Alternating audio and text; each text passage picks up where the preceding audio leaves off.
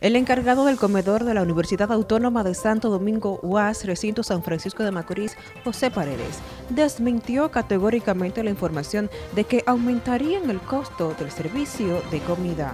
Eh, eso, esa denuncia, eso es falso, eso son alarmas falsas. Eh.